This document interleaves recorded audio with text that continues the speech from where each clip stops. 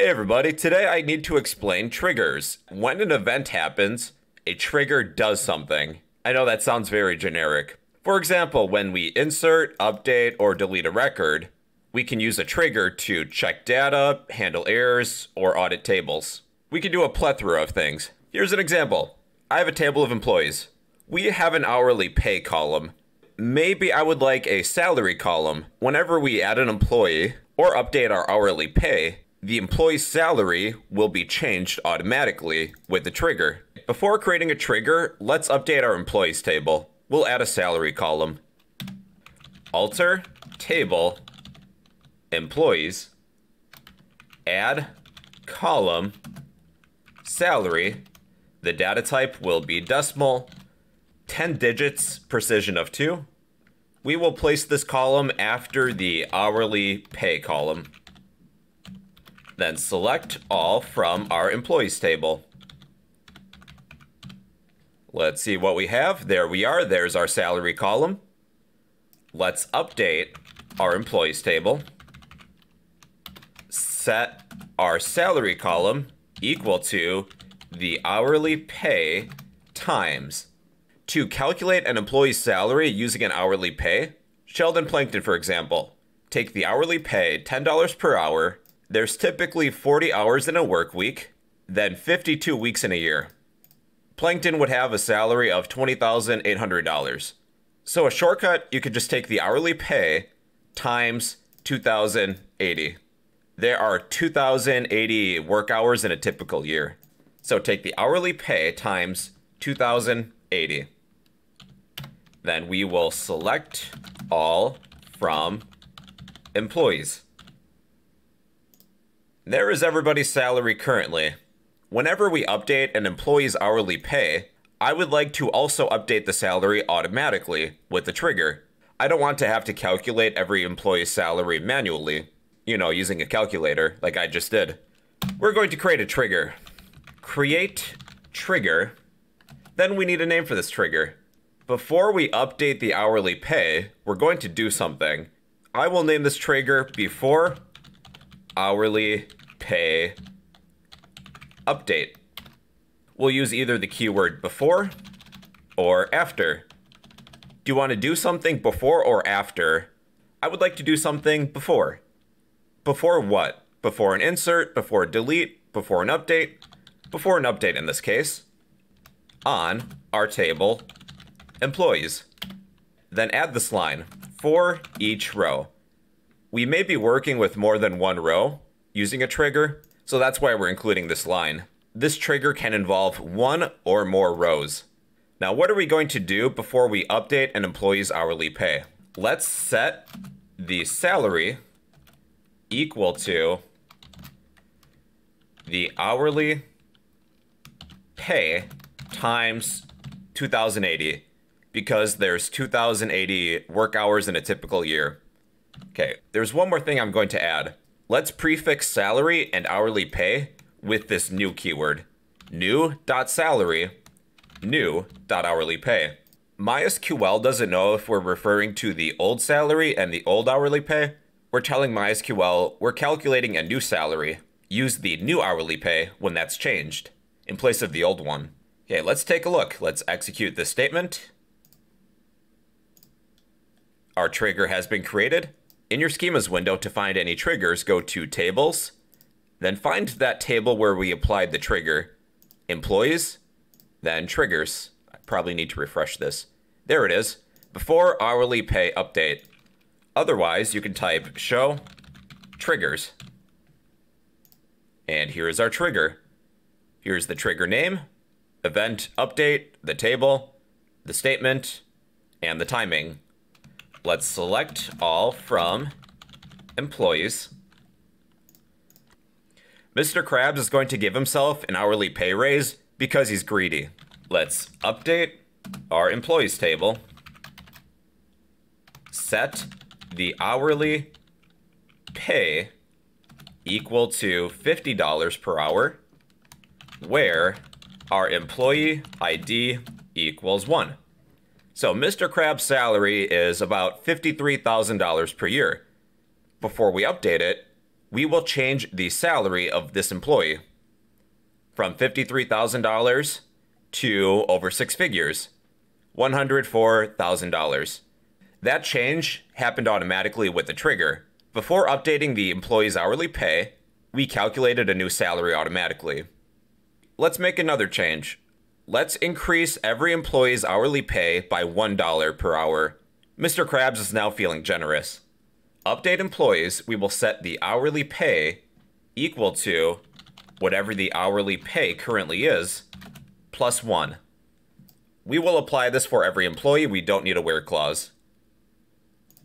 There, everybody is now making one more dollar per hour, and the salaries reflect that. Let's create a new trigger. We will calculate a salary whenever we insert a new employee. More specifically, whenever we insert a new hourly pay. Right now, we have a trigger that only kicks in when we update an hourly pay. Okay, let's delete Plankton. Plankton got fired. Delete from employees where employee ID equals 6. Select all from employees. There, Plankton is now gone. Let's create a trigger. Create trigger before hourly pay insert.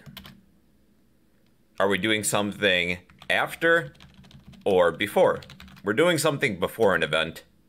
Before, are we updating, inserting, or deleting? We are inserting.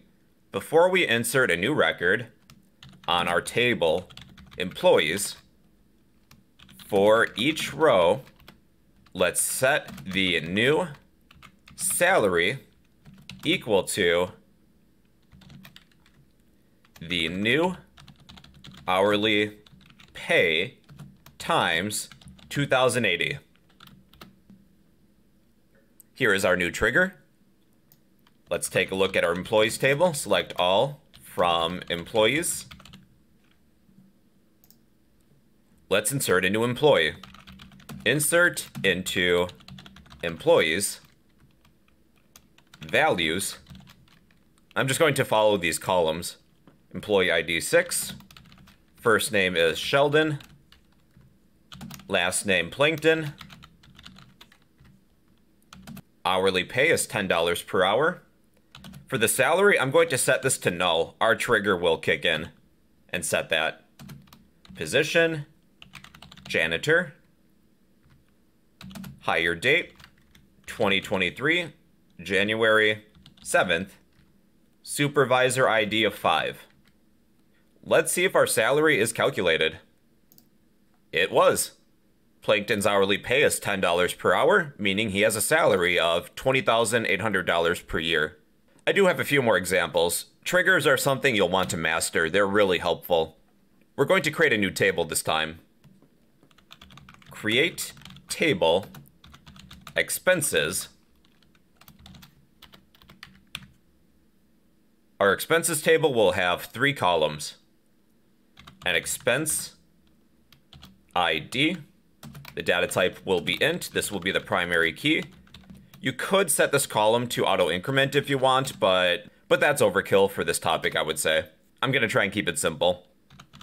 Expense name. The data type is varchar. 50 is good, I suppose. Then expense total. I will set that to be decimal. 10 digits, precision of 2 is fine. Then let's select everything from our table. Expenses. Let's insert some values. Insert into expenses. We have three rows. One, two, three. ID of one. The expense name is salaries. For the value for now, I'm going to set that to be 0. The second row will be 2.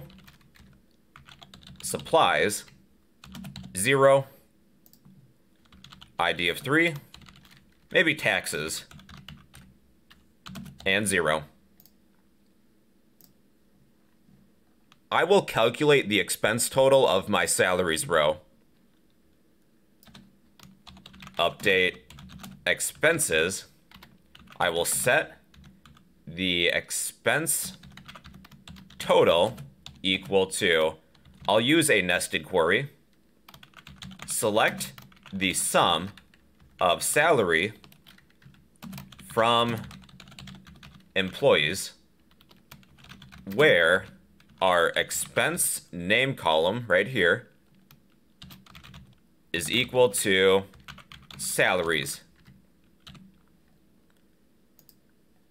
This is all of the salaries combined from the employees table. The total is $254,280. Whenever we delete an employee, we will update this value found within another table, our expenses table. So let's create a trigger. Create trigger after salary delete. Are we doing something before or after? We're doing something after deleting a salary. After delete on employees. For each row, we will update our expenses table and set the expense total equal to whatever the expense total currently is minus that employee's salary. If we're deleting a salary, we will refer to that salary as the old salary. Then add a where clause. Where expense name equals salaries.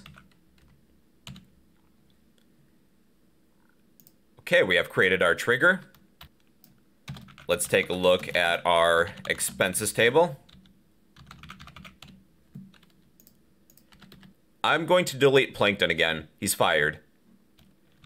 Delete from employees where employee ID equals 6, that's Plankton. Then select all from expenses. Look at that, our expense total changed. It's now $233,000. Let's create a trigger that will update our salaries whenever we insert a new employee. Create trigger after salary insert. We're doing something after this time. After and insert on our table employees for each row we will update our expenses table. We will set the expense total equal to the expense total plus the employee's new salary, new dot salary, where expense name equals salaries. Let's insert a new employee. Let's take a look at our expenses table, select all from expenses. We will insert a new employee, insert into employees, our values, employee ID 6, first name is Sheldon, last name Plankton, hourly pay of $10 per hour, the salary will be null. That will be calculated automatically with the trigger. Position is janitor. Hire date 2023-01-07 and a supervisor ID of 5. Let's see if this expense total will change. Which it does. When we insert a new employee, more specifically a salary, our expense total of salaries will be updated. One last example, then I promise we're done. Let's create a trigger that will update this value when we change an employee salary, and that will probably be the most complicated one. Let's create a trigger after salary update we're doing something after we update on our table employees for each row. Let's update expenses, set the expense total equal to the expense total plus the employee's new salary minus the employee's old salary. What's the difference? We'll find the difference between the employee's new salary and their old salary. Add that to the expense total. Where expense name equals salaries. We have created our trigger. Let's select all from expenses. Mr. Krabs is going to give himself another pay raise. Update employees. Set the hourly pay of Mr. Krabs to $100 per hour, where employee ID equals 1. Our expense total underneath salaries is now changed. It's now $356,200. Well, alright everybody, that's a trigger. In simple words, when an event happens, do something, such as when we insert, update, or delete something from a table. A few of the benefits is that you can check data, handle errors, and audit tables. It's a really helpful tool to have. And well everybody, those are triggers in MySQL.